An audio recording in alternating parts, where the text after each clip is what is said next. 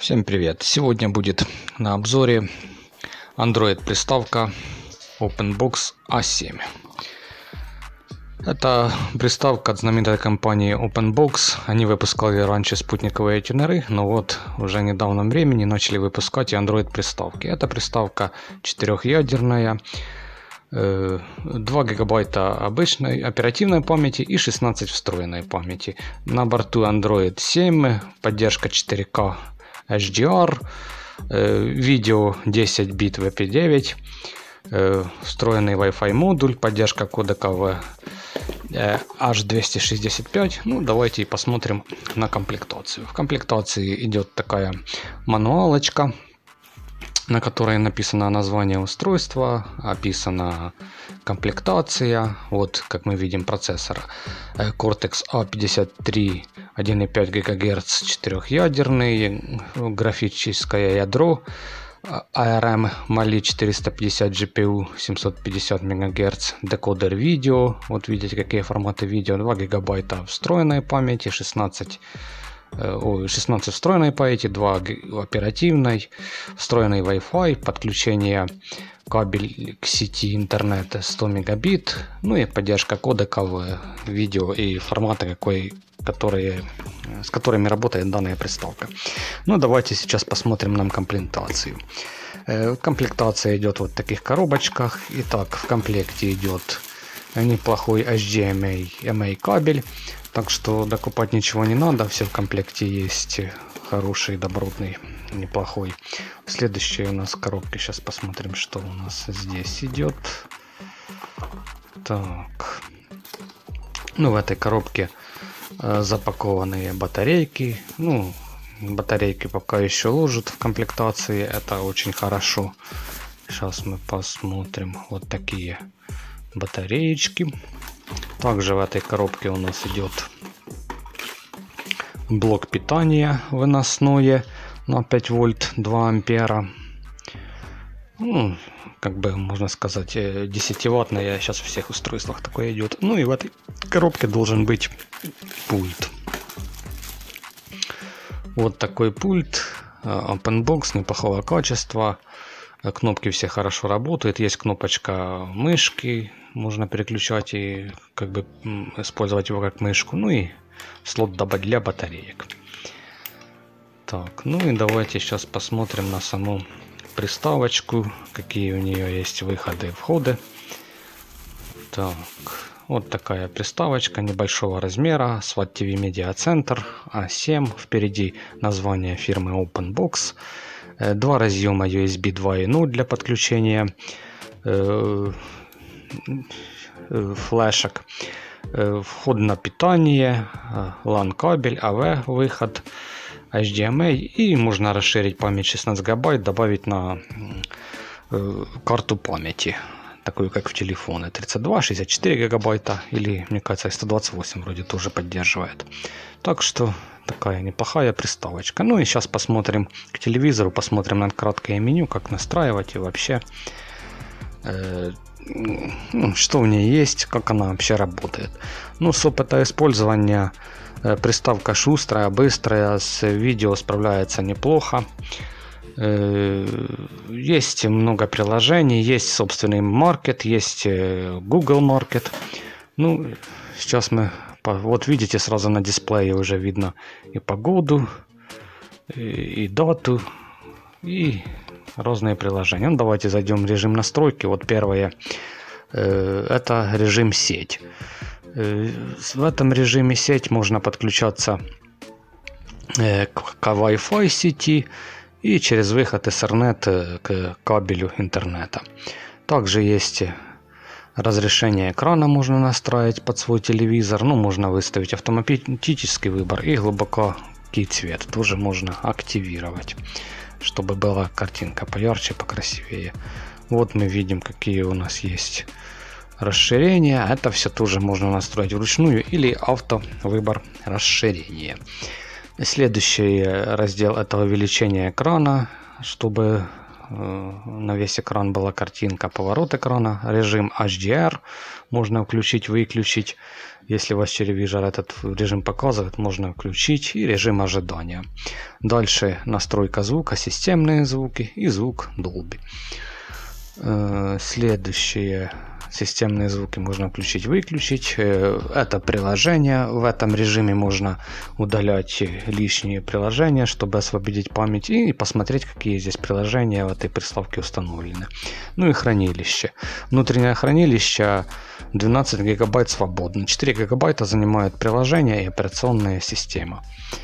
Э, дальше настройка э, даты и времени. Здесь есть автонастройка, дата и настройка времени выбор языка, клавиатура, HDM как это, этот режим можно включить и при включении телевизора сразу будет включаться приставка. Настройка воспроизведения тоже можно включить, выключить. Специальные возможности.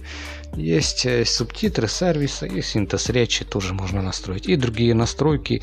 Сюда, когда нажимаешь, переходишь в режим, как в обычном андроиде. И тоже можно здесь тоже кое-что подстроить. Так, ну и давайте дальше посмотрим, что какой здесь маркет. Маркет это отдельный OpenBox, здесь приложения, которые более всего адаптированы к приставке OpenBox.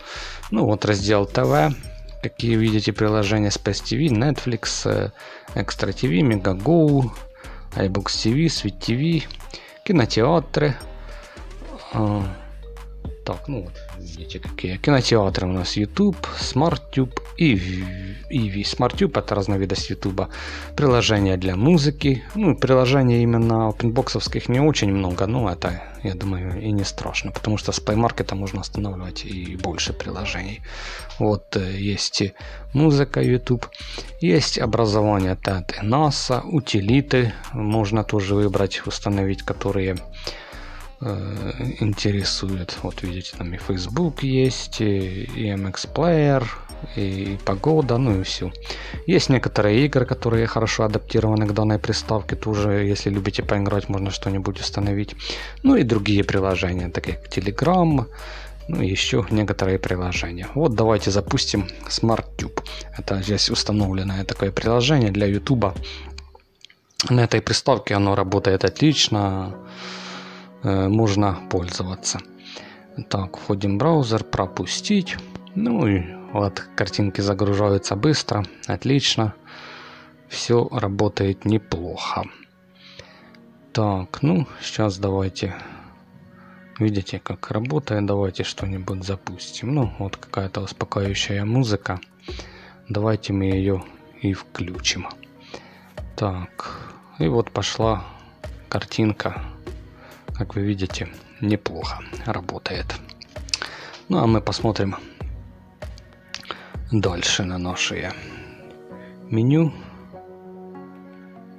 И что у нас еще есть. Так, давайте выйдем с этого приложения и посмотрим, что у нас еще за приложение. Есть приложение Коди, оно во многих приставках уже многим оно знакомое. Оно здесь тоже установлено с коробки. Можно все тоже пользоваться этим приложением, кому оно нравится. Если нет, можно удалить, потому что ну, приставку можно очень много всего установить. Ну, многие любят это приложение, поэтому можно пользоваться. Так, вот есть Play Market обычный, стандартный, но чтобы в Play Market зайти, нужно зарегистрироваться, свой email. Можно, например, с телефона, смартфона ввести, и похожие приложения будут здесь. Здесь через номер телефона нужно войти в учетную запись Google и скачивать приложения, которые вам интересны э, для данной приставки. Есть с этого приложения можно установить некоторые игрушки, присоединить э, джойстик. На джойстик э, э, Bluetooth нет в этой приставке, нужно отдельно адаптер докупать. Э, да, также можно данную приставку подключить э, T2 TV Stick. Вот такой T2 адаптер от компании OpenBox фирменный. Можно вставить USB разъем Здесь есть выход на Т2 антенну, можно установить и приложение под TVHD активировать и можно сканировать Т2 каналы и эту приставку использовать как Т2 приставка и смотреть э, Т2 телевидение. Но приставка э, питания не дает на антенну. Если у вас, например, польская антенна, нужно подключать блок питания, чтобы был сигнал. А если вы находитесь э, где-то рядом возле вышки, то блок питания не понадобится и ну, вполне можно поймать сигнал. Поэтому эту приставку можно превратить в Т2 тюнер с помощью стика.